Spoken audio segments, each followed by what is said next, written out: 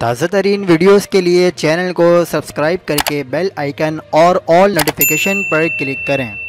असलकुम हक पाकिस्तान न्यूज़ के साथ मैं हूँ मोहम्मद जुनेद असदी। पाकिस्तान में सफ़र चौदह सौ तैंतालीस हिजरी का चाँद कब नज़र आएगा? महकमा मौसमियात की पेश गोई सामने आ गई। आपको बताते चलें कि पाकिस्तान में रोयत हिलाल कमेटी का इजलास आज 7 सितंबर 2021 मंगल की शाम को होगा। महकमा मौसमियात की जारी करदा खबर का स्क्रीनशॉट आप अपनी स्क्रीन पर देख सकते हैं। महकमा मौसमियात ने सफ़र चौदह हिजरी के चाँद की पेश गोई करते हुए कहा है कि सफ़र के चाँद की पैदाइश 7 सितंबर 2021 मंगल को पाकिस्तानी मयारी वक्त के मुताबिक पाँच बजकर तिरपन मिनट पर हो चुकी है।